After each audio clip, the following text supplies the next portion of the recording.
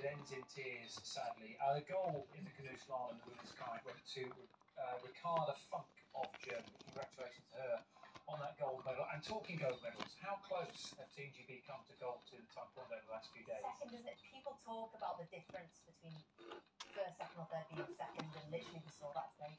Yeah, again, and you might remember back on Sunday, uh, many of you were watching Bradley Sinden, who was, I think, nine seconds away, and then uh, had to settle for silver at the end. Uh, then today we've seen Bianca Walkden, who was one second, second.